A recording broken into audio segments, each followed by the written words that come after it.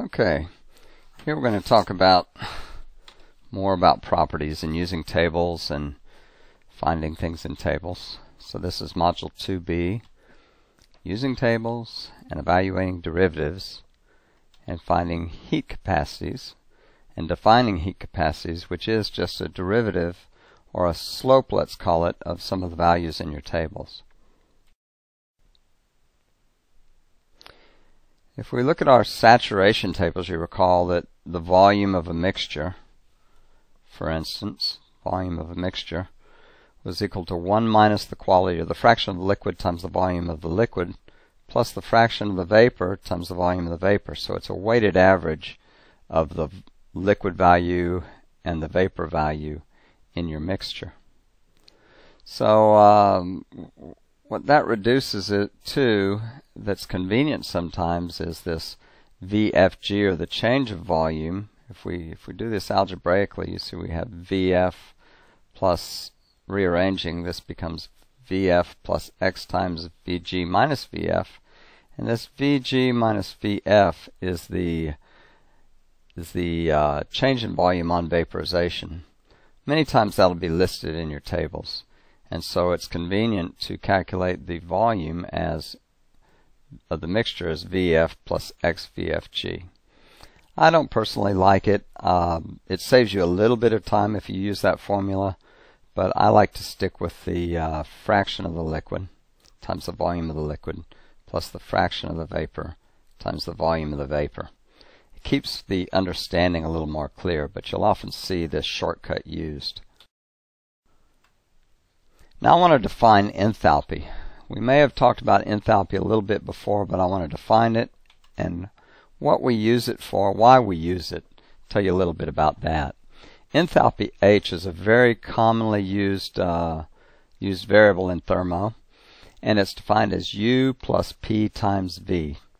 Now I think in an earlier uh, talk we described um, the flow work as pressure times volume. When you're pushing something into a system, it has a pressure and a volume as it goes across the boundary of the system, and that's flow work. So anytime we have mass moving into or out of the system, then we have flow work, and we have to add it when we're doing an energy balance on the system or when we're accounting for the energy in the system. So this enthalpy is a convenience property that's listed in the tables where PV has already been calculated and added to the internal energy that allows you to just use enthalpies in your energy balances whenever the mass is moving into or out of the system.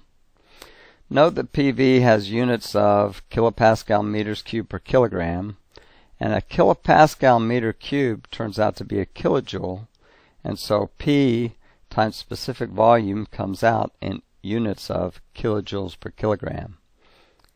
If you're calculating it from P times V, you need to be careful that your units are consistent. So you don't want to use bars here or pascals. You want to use kilopascals. With a um, with the English system, it's a little more complicated, so I'll leave it as an exercise for you to convert psi feet cubed.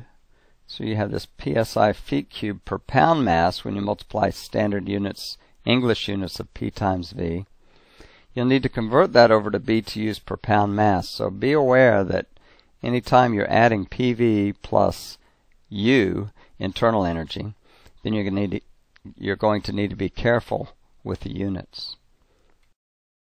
Then we'll have a subcooled liquid. So if we're between, if we're right at saturated, then we'll have a mixture. But if we're on the hot side, we'll have a superheated vapor. On the cold side, we'll have a subcooled liquid. So we have to have tables for uh, let's talk about the superheated vapor tables. We uh, we call these steam tables. You often hear tables referred to as steam tables because we're talking about water, and water is widely used as a working fluid in thermo. So most thermotechs that you'll pick up will have a, a set of steam tables in them. You'll also have uh, refrigerant tables, and the refrigerant will also have a superheated vapor. In fact, any substance can go into a vapor state at some point, and then you would call it superheated, whether it's steam or refrigerant or even air. Air, again, at most common temperatures is above its critical point, so you're going to be in the superheater region almost always for air. Alright, I want to talk about interpolation in tables. Interpolation is when the value isn't listed exactly in the table. How do you find the value? How do you find it? We use interpolation to find values between two listed values. For instance, uh, an example I'll do is at 215 degrees, you have values listed for 210, maybe, and 250. And then you have to find it in between at 215. We interpolate what we call linear interpolation. Now, since there's two dimensions, you can have two types of interpolation, simple or single variable interpolation, or more complex double interpolation. Now, I'll cover it a little bit in the slides, but I think I'm going to skip over it mostly because this relies on um, multivariable calculus to fully understand it, and a lot of you haven't had that yet. It's not a prerequisite for this course, so um, I'm going to hold you to being able to do simple interpolation, and I'll go over a little bit about double interpolation for your benefit, but not going to require that you're proficient at that yet for this course, let's say. So let's take an example.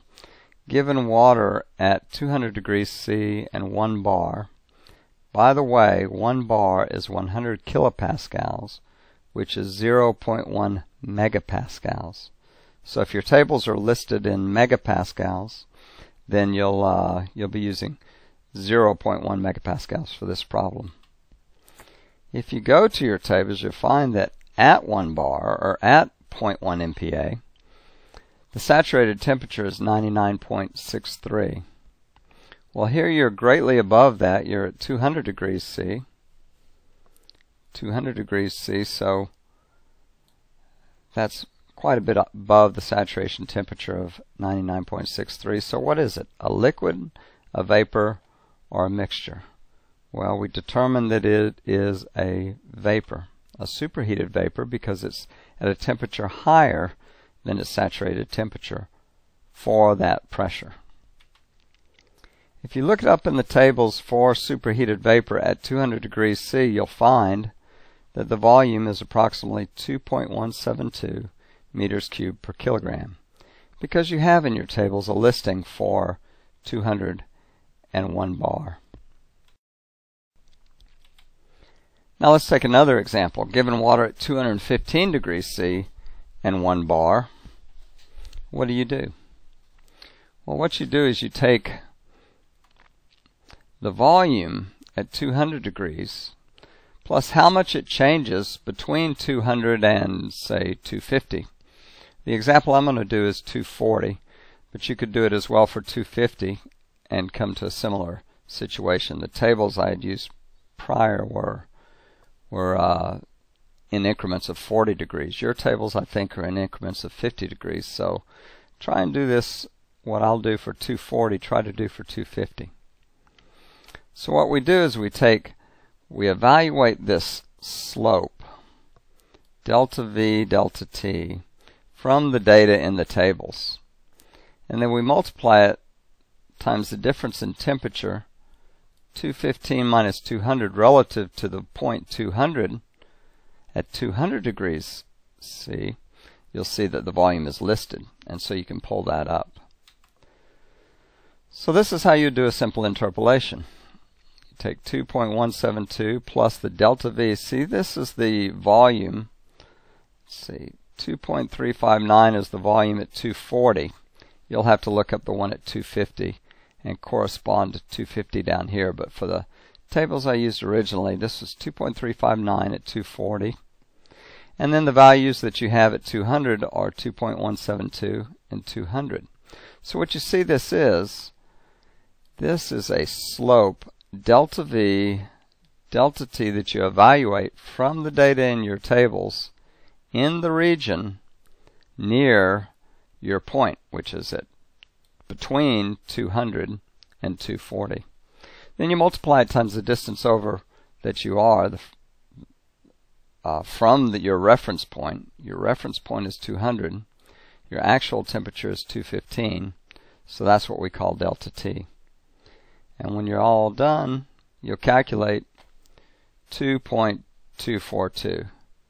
And I'd encourage you maybe to pause the, the tape now and then just calculate that out for yourself with the data in your tables, only going from 250 um, rather than 240 degrees. You should get something very similar to this number, 2.242 meters cubed per kilogram.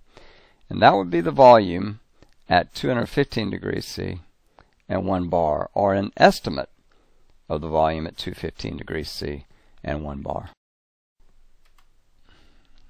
Okay, I'm going to take a look at suppose we have water with V equals 2.3 and 1 bar, and the question now is what is the temperature? So you do a sort of reverse interpolation, and you need to be able to do this as well.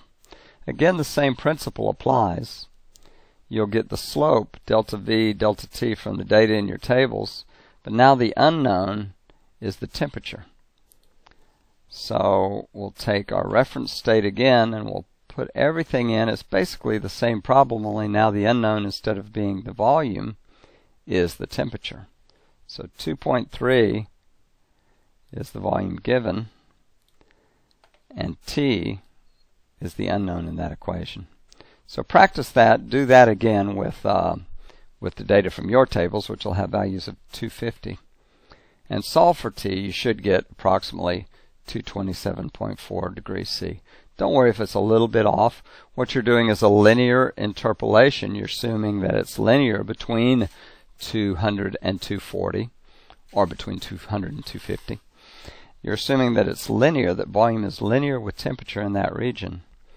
Uh, in fact, volume should be fairly close to linear with temperature, but there are some cases where the value is not linear, and you're still making a linear estimate by interpolating.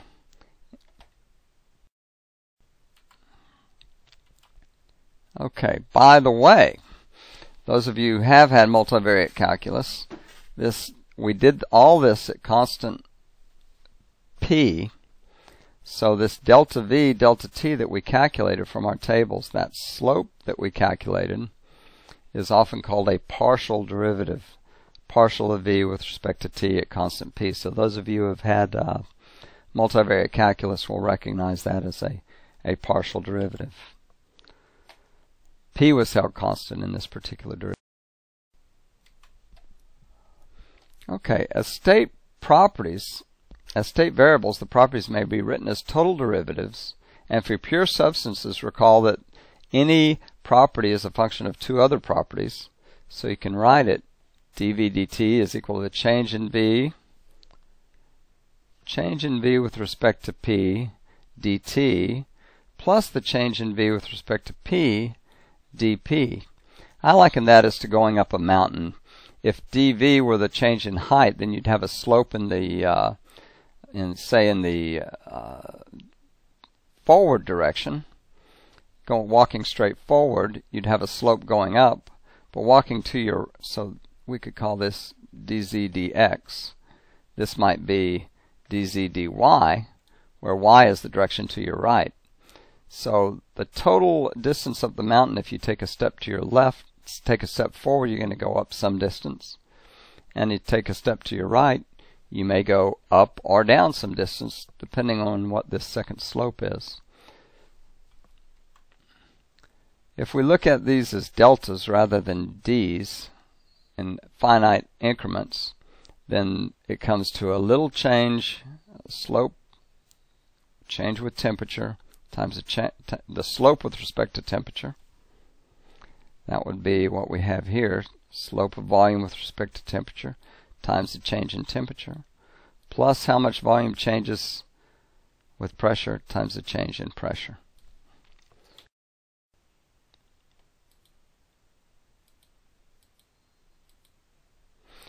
I can write this equation, actually this can be done with one equation in this case, where the volume is unknown. So the volume be my, be my unknown in the equation, I can evaluate the slope with respect to v times the delta. Slope with, of v with respect to t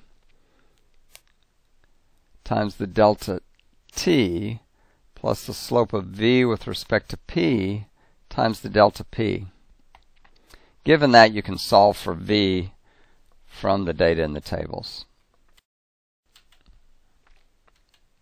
Putting, plugging all that in, and I'm going to go through this fairly fast because once again, this is uh, this is not something I'm going to require you to do at this time. And you get a volume of 2.428. Here's a more challenging problem. Given V and H, find T and P. That's kind of a challenge uh, double interpolation problem if you'd like to attack that. Okay. Uh, while we're on the subject of partial derivatives, or slopes, we can get this change in volume with respect to T another way. And we're going to get into ideal gas equations later, but you should see if it were an ideal gas, PV would be equal to m over molecular weight RT. RV would be equal to RT over P molecular weight. Then you can take the derivative with respect to T, RU over P times molecular weight. Plug the numbers in with your value for R. Taking the derivative, the T drops out and you wind up with 0.006. Again, these last few slides, mainly what I want you to be able to do at this point is single variable interpolation. Luckily, it's an ideal gas in this case, and our uh, our slope comes very close to the one that we calculated earlier at these conditions. We'll get into what's an ideal gas and what is not an ideal gas uh, later on in, a, in another uh, module. Okay, we've covered using tables, single interpolation, double interpolation, and evaluating partial derivatives from table data and from an ideal gas equation. So that covers a lot. Now let's look at energy. We've looked at volume quite a lot, and a lot of our examples have been with respect to volume, but a lot of times we need to find the energy, say the internal energy, or the uh, or the enthalpy. One thing you should know is energy is relative. When we're doing energy balances, we're calculating it relative to some place that we call zero. That's referred to as the reference state. We want to know where the energy is equal to zero and that's what we call the reference state. We can only calculate changes in energy, really, or we we generally only calculate changes in energy, a delta U or a delta H when we're talking about properties. And so tables will generally be listed with some place that most people will agree to call the energy zero on we often refer to that as the reference state. So if you look at your tables and you go to look at U, look and you'll find where U is zero and you'll find that it's pretty much going to be the freezing point of water or really actually technically it's usually the triple point of water where liquid water and ice and vapor water can all exist together. But that turns out to be just about 32 degrees Fahrenheit or 0 degrees centigrade and we'll take the enthalpy of the liquid to be zero. And we have to be very specific that we're talking about the enthalpy of the liquid because the energy of a liquid and the energy of a gas are radically different due to the energy of vaporization. So a change in internal energy we can write as a function of two variables, change in U with respect to T times a change in temperature plus a change in U with respect to volume times dV. It's often written that way. So these the, remember that this uh, du dt at constant v is a slope of internal energy with respect to t, and this du dv is a slope of internal energy with respect to v. So we can write this du dt at constant v. If v is constant, then our total energy change would just be this, the change in temperature times this slope du dv, dt at constant v. Now this du dt at constant v is something that's widely used in thermo, and we use it so much we give it a name. We call it C sub v, or the constant volume heat capacity.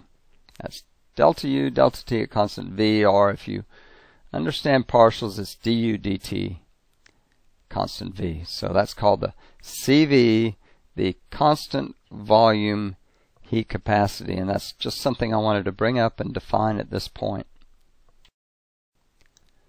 The next one is a change in enthalpy. And for a change in enthalpy, we have dH equals the change in enthalpy at constant T. I mean, I'm sorry, change in enthalpy with respect to T. Let me show you that.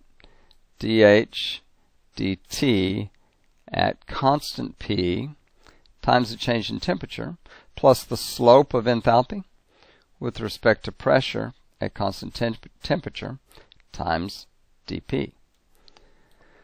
That'll give us um, our total change in enthalpy, but if we hold P constant, then it's just dH dt at constant P times dt. Again, we use H quite a bit in some problems. Other problems we'll use U quite a bit. And so the dH dt is widely used in thermo, and we give that a name. We call that CP. So CP is defined as dH dt, constant P, and that's referred to as the constant pressure heat capacity.